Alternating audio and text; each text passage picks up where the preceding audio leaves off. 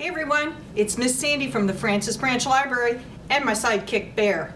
We were cleaning out the closet here at the library and we found this big container of plastic cups. And Bear and I are like, hmm, what science experiment can we do with plastic cups? So we had this brilliant idea that we were going to try to build a ginormous tower using these plastic cups. So I got out my lab coat because this is a science experiment, right? Let's put our glasses on just in case. You never know when a plastic cup's gonna bounce in your face. Let's get Bear, he's gotta get his goggles on. And let's get building. Let's see what we can do. I'm gonna try to build a tower with all 50, 50 of these cups. All right, here I go. Hmm, that's not gonna work. What is that, Bear? What?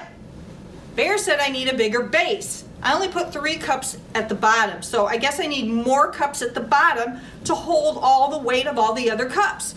Plus, everything tumbled down. What happened? Bear, what happened? Gravity, you say? Oh yeah, gravity. When something falls down, gravity's pulling it down, so gravity's pulling these cups down. So let's make a bigger base. Let's try it again. Okay, Bear told me I need a bigger base. So this time I put 10 cups on the bottom to hold the big tower of cups. So I need a bigger bottom, right? All right, Bear, here we go. Let's get stacking. This is gonna work. I think this is gonna work, right? One here, because I've got a big base, right? I've got a big base. I'm stacking. This will work, right? This is gonna work because I have this big base, right? It's gonna work. I just know it's gonna work. It's gonna work. It's gonna...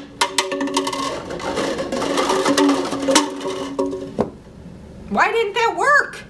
I had a big base. What's that, Bear? I have a big base, but I stacked all the cups in one area of the big base. I need to spread the weight all the way around. Ugh. Let's try this again. All right, let's give it another try, Bear. Remember, we need to spread this all out. I shouldn't put all the cups in one small area. Here we go.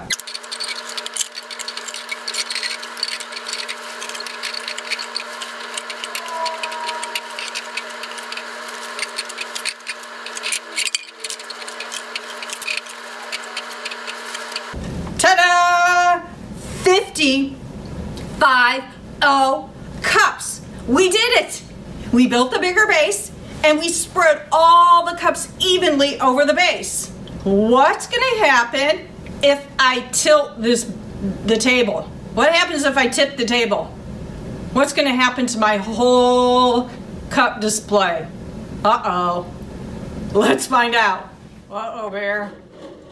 Hold on. It's an earthquake! Ah! what happened? They fell! Ah! Why did they fall? Why did they fall? Because the table shook and it tipped, right? So we need a big base to build and we need an even steady place that doesn't move to build, right? Whew. I gotta clean this whole mess up, Bear. We gotta clean these cups up before my boss comes in. Thanks for joining me today. You were tremendous. Bye.